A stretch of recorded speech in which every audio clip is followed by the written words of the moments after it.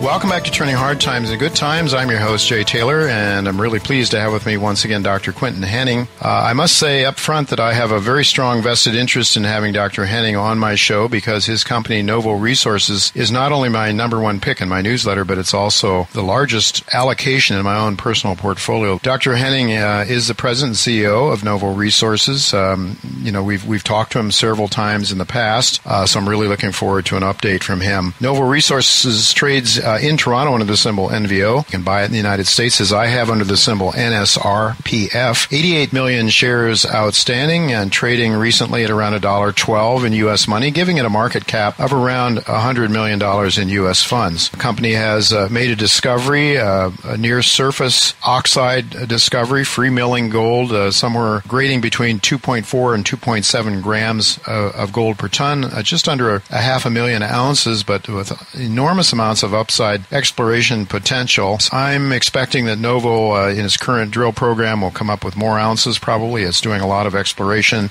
and development work, and so uh, we really want to uh, thank Dr. Hennigh for coming on with us again today. Thanks for joining me, Quinton. Thank you very much, Jay. Always good to talk to you, you know, just as a matter of background. I'd like you to explain for those of people that are listening to this show that may not have heard you several appearances in the past. You know, we have a lot of new people now paying attention to the gold mining sector, and perhaps you could talk a little bit about what attracted you to northwestern Australia? I must say that I got interested in your story so much because of a, sort of a more of a romantic aspect to the idea. Uh, your novel theories about how this the greatest deposit ever known to man, the Witwatersrand gold deposit, so much gold in such a small area, was concentrated. And your theories about how it was put there led you to northwestern Australia. Talk to us a little bit about the Witwatersrand deposit and your search for another, and why you think you may have found one in northwestern Australia.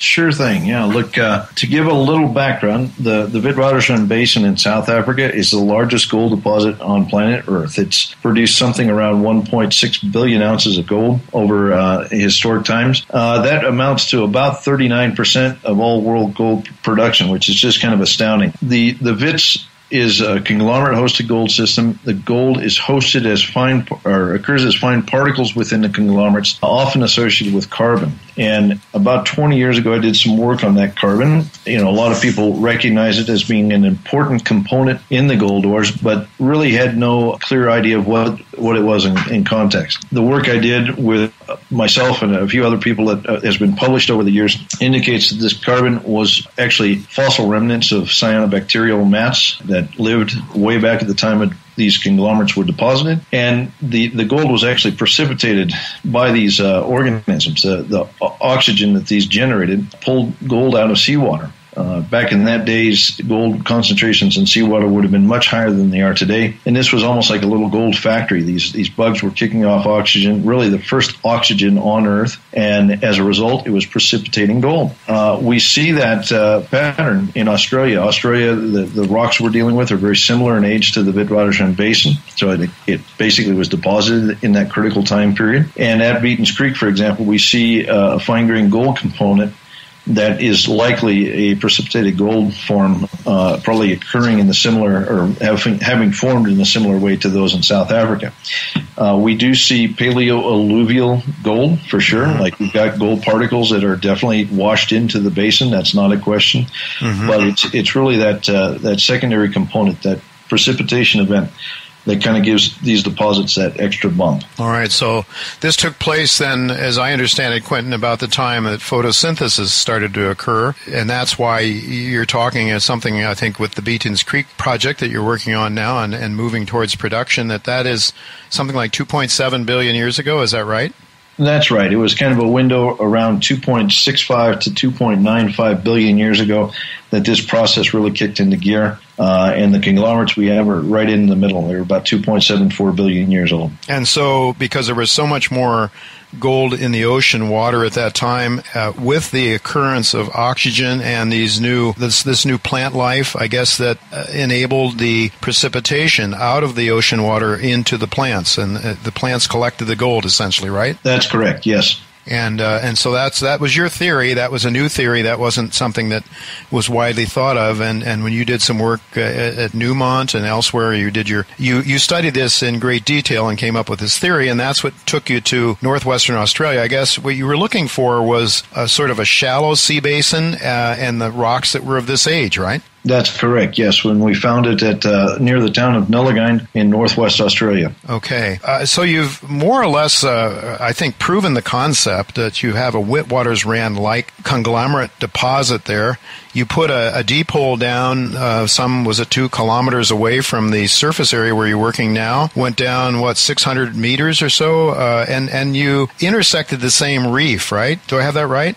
Yes, we. There was a couple of years back. We drilled a hole, a vertical hole, tested the, the down dip of these same reefs. We encountered, I think it was three or four reef units that graded around 0.x gram. Uh, they're definitely out there. In hindsight, the drill, drill, hole was too far from the shore. I probably should, you know, should have pulled it back, but I didn't realize the, the nuances of geology at that time. Mm-hmm. Uh, but it did demonstrate that this process was, uh, you know, continued out into the basin for sure, and it, it's still alive. We need to simply explore closer to the shoreline.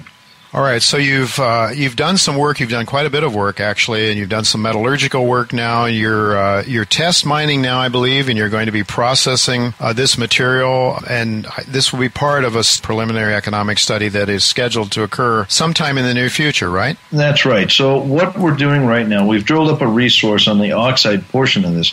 It's basically where these reefs come to surface. They've been subjected to intense weathering. Uh, the oxidation has broken the rock down and effectively broken down into its original cons- components. And so it's soft, it's free digging. The gold particles are are freely liberated and they're gravity recoverable. So what we're doing is developing that oxide portion of the system first, and the intention is to get cash flow from that, get get some production that will then lead us down into the sulfide ores and, and gradually further out into the basin. Uh, to give people a sense of what we're trying to do at the moment, we've got a trial mine going where we've mined 30,000 tons of these conglomerates. Uh, we're presently crushing them and now processing them. And over the next two months, we anticipate uh, processing the entire 30,000 ton bulk sample. Uh, the data from this test will give us uh, much needed, you know, detail about some of the economic aspects and, and geological aspects of the project that we need to fill in our economic study. Coarse gold is a challenge to work with. You know, nuggety gold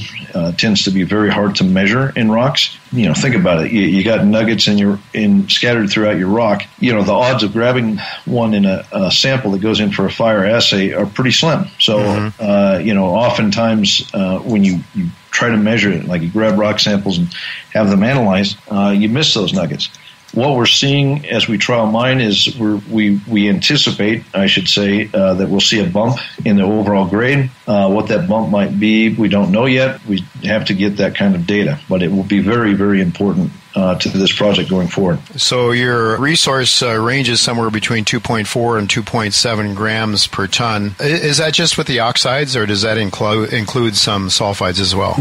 That does include some sulfides. The grades are very similar in oxide as, as well as the sulfide. Like I said, we have nuggeted gold, so we are looking to see what kind of potential up, up bump we, you know, upgrade we have um, in that material. Right. Well, your initial maiden resource was was a lot less than that. Even it was uh, just with, I guess, with drilling. Then you went to wider wider drill drill cores, I guess, and uh, you did some bulk sampling as well, right? Um, the initial resource was actually modeled on three meter benches, so it was a diluted grade. It was heavily diluted. Mm-hmm. Uh, what we did the second time around was we modeled the reefs very, very tightly. So we, we measured the tops and bottoms, and effectively we came up with volumes of rock that were tightly constrained and carried grade. So we eliminated that dilution. Uh, the trial mining we've done has actually demonstrated we can be very selective about how we mine this. Uh, when we're mining and stripping waste, for example, we can clearly tell when we've hit the top of the targeted conglomerate. Uh, the excavator operator can feel the boulders with his, you know, the teeth on, teeth on the bucket, and then, uh, you know, when it comes time to extract the reef, he's able to, to mine it and tell where the rock goes soft underneath. So, you know, basically, uh, probably put blindfold fold on the excavator operator and he can mine it no problem. Oh, that's uh, that's very important. Of course, dilution is is always a consideration. Well, when do you expect to have your preliminary ex- economic uh, report done, Quinton? I know that you were delayed a little bit in the permitting process; it sort of held you back a bit. But um, yes. do, do, you expect to have uh, some small production from this trial mining yet this year? Yes. So we're going to process the rock over the next two months. Hopefully, we've completed that by late October or early November. Uh, the data that we gather from this will include some assays that have to be taken at the end of the program. So uh, we'll have data to present to the public uh, about the actual grade of the material and some other aspects. Uh, say sometime in November or, or, you know towards the end of the year, we'll put it. Uh, yeah, we did get off to a slow start. The permit took quite a long, lot longer than we thought. Uh, the downside, you know, it, we were delayed. The upside is the project was reviewed in excruciating detail, so that when we go to get our commercial permits, the uh, regulatory authorities will already have you know become familiar with the project, and hopefully that process should go much easier. Right, and your preliminary economic assessment, we might have to wait then until early 2017, possibly. Uh, we're hoping by the end of the year, but it could be early. It, it could could yeah. slip a little bit. Yeah. Well, you have, uh, I, I know you have a small, relatively small gold debenture you borrowed some money that way, and I think it was December 15th when you, if you produced 2,000 ounces or so by then, that you would have the right to call that or to repay it. I believe is that do I have that right? Yeah, the way it works is the, the participants who bought the debentures, the units in the debenture, uh, have the right, w- once we hit a threshold of 2,000 ounces produced, they have the right to decide whether they want to receive, you know, payback in gold or in shares. The upside, like if you look at the, the difference in price right now, the upside is greater if they receive shares at the moment, and we hope it will be going down the road too. But look, uh, uh, my suspicion is that when the time comes, they will probably opt to take shares. But you know, we'll, we'll see how it goes. All right. So, how much of this uh, oxide near surface uh, material do you think exists there? Do you have a lot? Do you have more exploration to do to delineate the resource, the oxide resource? Uh, there's certainly more oxide resource we can bring into the model. Uh, right now, our, our, main goal is just moving towards production. Uh, the way I see this is, you know, why why spend a lot of time and money and, and get further distracted trying to add, you know, immediate resource when we already have a sizable resource. Sure we can develop. So no, we're we're focused like a laser right now on, on making the mine. Can you give our listeners some sense of, of why the economics appear to be very robust? And again, the PEA will help to, to document that. But could you give our listeners some sense of what the uh, what the aspects are of this project that that make it appear to be quite economically robust? Sure, sure thing. I mean, this is what's really fun to talk about. So the the oxide, like I said, the rock is heavily decomposed, so it's quite soft. We do not need to drill and blast, uh, which makes for very cheap mining. Uh, we literally can push this around with bulldozers and excavators. We anticipate very cheap mining costs. The trial mine that we just did, uh, the the cost of moving one ton of ore down to the ROM pad. This is inclusive of everything, you know, stripping, uh, road maintenance, whatnot. Uh, the cost was less than ten dollars a ton. I mean, that's oh. kind of astounding. Uh, the the other big plus is the gold. It tends to be fairly coarse. Uh, there is some fine grained gold, like I said earlier, uh, but we anticipate recoveries of around eighty percent in a commercial mine uh, at at very low processing costs. You know, perhaps less than twenty dollars a ton. So if we can keep mining and processing less than thirty dollars a ton, and we can recover, you know, say on the order of two grams per ton, you know, the economics look very, very favorable. Uh, the one thing I will point out is during the trial mining, uh, the processing we're doing does not include a fine grind, grind component. So right. the gold we'll get out from uh, the trial phase will be largely the coarser, you know, coarser gold grains uh, so our recoveries won't be that 80%. They'll probably be more like 50 or 60%. But that, you know, that's fine for the trial mine. That's, that's good enough. We don't have the, uh, we, we don't need to beat this thing to death. But, um, we are very encouraged by the potential economics of the project. Uh, startup costs could come in, say, in the neighborhood of, uh, 18 to 22 million US. Wow, that's uh, that is incredibly low cap cost for this day and age for sure. And uh, uh, probably once you, uh, assuming you you prove up a much larger resource, uh, at some point in time there would be a milling process that would capture most of that gold you're not getting, the coarse, uh, the fine grain gold that you're not getting now, right? That you expect not to get right away. Yeah, sure. Look, in, the, in any gold that's not recovered in our commercial scale mine will be a future resource. Without, sure. yeah, sure. it'll be available. That you know it it's not it's not walking off. All right. Well, look, that's uh, the Beaton Creek story, but you have some other things that are going on there that are, I would argue, perhaps equally exciting. Talk to us a little bit about some other properties you picked up that are all sort of encompassed in an area you refer to as the Mosquito Creek Basin. And I understand that it's very important to note that this deposit was laid down, you figure, somewhere around the same time, a little earlier, perhaps around 2.9 billion years ago. That's uh, right. Sure. So, to give context, uh, the Mosquito Creek Basin is immediately adjacent to Beaton's Creek. Uh, it's it's a somewhat older basin. It's about 2.92 billion years old. Sedimentary rocks, once again, a little bit different uh, facies. They're deeper water marine, or you know, sedimentary rocks, mm-hmm. but nonetheless, they appear to be very, very rich in, in gold. Like in background levels of gold, these rocks have uh, a very, very high, probably five times crustal abundance, hmm. high level of gold.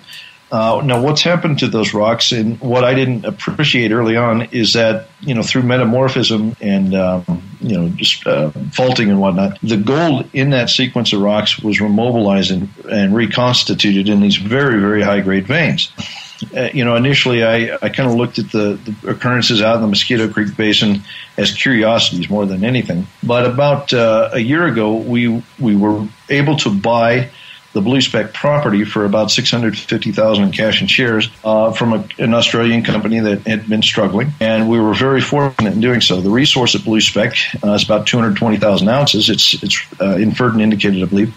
Uh, it's a JORC resource, by the way. Um, and it's about 16 grams per ton gold. It's wow. also got a very high component of antimony with it. Now, the uh, when we bought the property, we spent about six months putting data together. We also did a lot of prospecting uh, on the ground, and we I changed my view entirely. Look, I'll be frank. Uh, when we started to model the data and look at you know possible extensions and whatnot, it became clear that this thing was wide open. Looks like it could grow dramatically. So uh, we've we've acquired some further ground in the area, also along the blue spec shear zone. It's the same structure. It's it's ground further to the east mainly. Uh, so we now control something like 60 kilometers of strike along this blue oh. spec shear, and we've we've sampled in many locations and come up with you know plus 10 gram, you know even tens of grams per ton type grades in many many new locations. Uh, so we're we're very excited. We've got a drill program starting in a couple of weeks, uh, t- targeting the blue spec area, but also these new targets, these new uh, prospects that we found along strike. Uh, I, I sincerely think that this could be one of the better exploration projects I've ever worked on or ever seen.